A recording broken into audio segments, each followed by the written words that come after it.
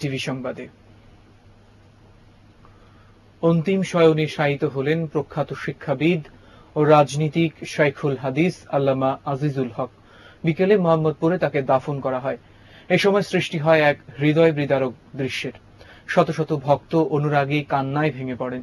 এর আগে জাতীয় ঈদগাহে অনুষ্ঠিত হয় তার নামাজে জানাজা। এতে অংশগ্রহণ করেন বিএনপি, আওয়ামী লীগ সহ বিভিন্ন রাজনৈতিক দলের নেতৃবৃন্দ ছাড়াও হাজার হাজার ভক্ত ও অনুরাগী। উপমহাদেশের প্রখ্যাত হাদিস বিশারদ এই শীর্ষ আলেম বুধবার দুপুরে আজিমপুরে তার নিজ বাসভবনে ইন্তেকাল করেন। তিনি বার্ধক্যজনিত বিভিন্ন রোগে ভুগছিলেন।